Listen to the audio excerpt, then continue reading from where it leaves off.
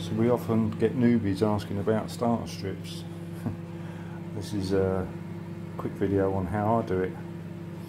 I have a wax box that has all my sheets of wax in it because you always end up with spares and then if I ever cut any wax to fit in a frame I keep all the offcuts and then I simply push them I don't fix them in any way I push them into the frame and then brush them fix them in place with melted wax.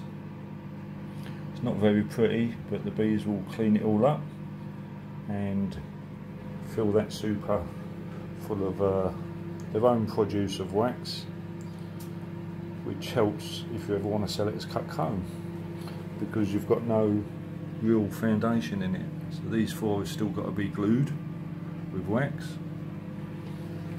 As you can see four minutes in the microwave to melt the wax.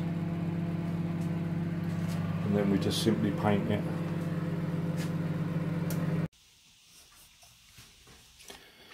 So we've got our melted wax in the little pot there.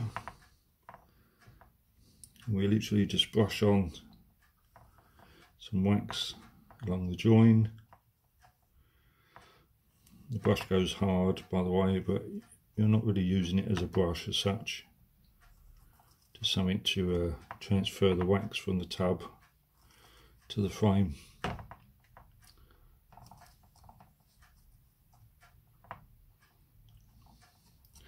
Do both sides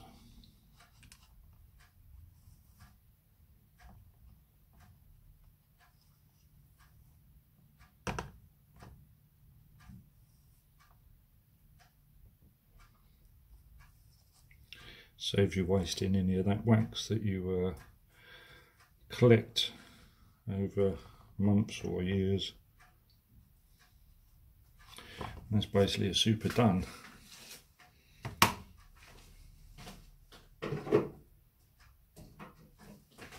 As you see, the wax doesn't have to cover the full frame.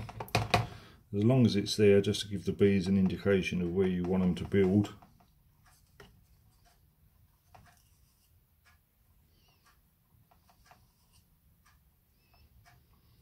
Saves uh, having cross combing and all sorts. Even if you didn't have any wax foundation you could get yourself some wax out the hive.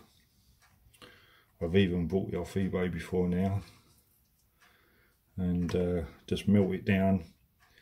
I reckon if you was just to paint the top bar in melted wax that would uh, let the bees know where you want them to build and that's the finished super. 10 frames, probably took me about 3-4 minutes to do the lot. All with starter strips in.